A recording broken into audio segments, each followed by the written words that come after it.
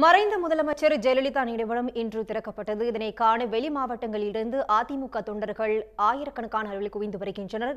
ஜெய நினைவிடத்தை காண முடிந்த பிறகு தற்பொழுது டாஸ்மாக் கடைகளில் ஆயிரக்கணக்கான தொண்டர்கள் தற்பொழுது குவிந்து வருகிறார்கள். இது பற்றி விரிவான தகவலை தர காத்திருக்கிறார் செய்தியாளர் சண்முக பிரியன். அவரிடம் பேசலாம். சண்முகப்பிரியன் சண்முக பிரியன் ஜெய நினைவிடம் பார்த்த பிறகு தற்பொழுது அனைவருமே டாஸ்மாக் கடைகளில் குவிந்திருக்கிறார்கள். எந்த இடத்துல இந்த நெரிசல் ஏற்பட்டிருக்கிறது? விவரம் என்ன? மெரினா கடற்கரையில் அமைந்திருக்கக்கூடிய ஜெயலலிதா நினைவிடம் அதற்கு அருகே இருக்கக்கூடிய சேப்பாக்கம் பகுதிகளில் இரண்டு டாஸ்மாக் கடைகள் இருக்கிறது. ஒன்று அந்த பெல்ஸ் ரோடில் இருக்கிறது இன்னொன்று மற்றொன்று வாலாஜா சாலையில் இருக்கின்றது. இந்த நினைவிடம் நிகழ்ச்சி முடிந்த அடுத்த சில நிமிடங்களிலேயே சரியாக பன்னெண்டு மணி அளவில் டாஸ்மாக் கடை திறந்தது.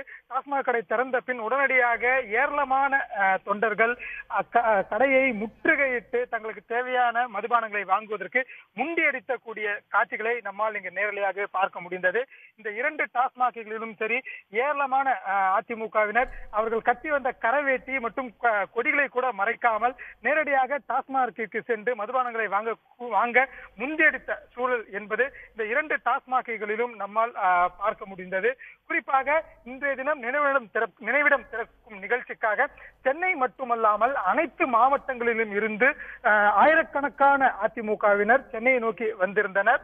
அதில் ஏராளமானோர் தங்களுடைய சொந்த வாகனங்களில் வந்திருந்தக்கூடிய காரணத்தினால மெரினாவை சுற்றிருக்கக்கூடிய பகுதிகளில் கடுமையான போக்குவரத்து நெரிசலும் ஏற்பட்டிருந்தது. அதே நேரத்தில் தான் இந்த கடுமையான இந்த கூட்ட நெரிசலில் இடையே நினைவிடம் திறக்கும் நிகழ்ச்சி என்பது நடைபெற்று முடிந்தது.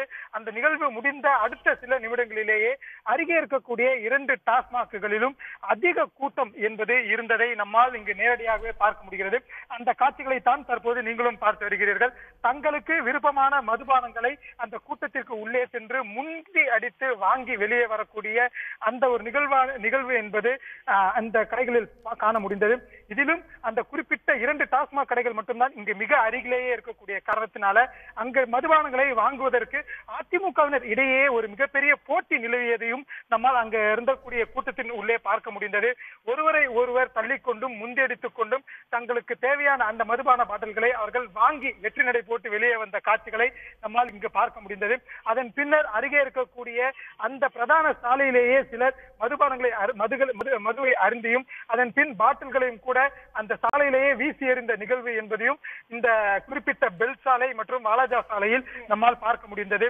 அதே நேரத்தில் இவ்வழியாக சென்ற சாமானிய மக்கள் இதன் காரணமாக அவர்களுக்கு இடையூறு ஏற்பட்டிருந்ததாகவும் தெரிவித்திருந்தார்கள். குறிப்பாக ஏராளமான வாகன ஓட்டிகள் இன்றைய தினம் இந்த சாலையில் போக்குவரத்து நெரிசலில் சிக்கி தவித்த இருந்த காரணத்தினால அவர்கள் இன்னல்களுக்கு ஆளாகி இருந்தனர். இவ்வாறான ஒரு சூழலில் இது போன்ற ஒரு ஒரு நிகழ்வு என்பது இந்த வழியாக சென்று கொண்டிருந்த பெண்கள் சிறுவர்கள் மற்றும் வாகன ஓட்டிகளை முகச்சுளிப்புக்கு உண்டாக்கி இருந்தது என்றே நம்மால் கூற முடிகிறது.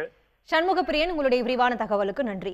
ஜெயின் நினைவிட திறப்புக்கு வந்த அதிமுக தொண்டர்கள் தற்பொழுது டாஸ்மாக் கடையை நோக்கி படையெடுத்து வருகின்றனர். சென்னை சேப்பாக்கத்தில் உள்ள டாஸ்மாக் கடையில் அதிக அளவில் கூட்டம் கூடியதால் அங்கு தள்ளுமுள்ளி ஏற்பட்டிருப்பதாக எமது செய்தியாளர் வழங்க கேட்டோம்.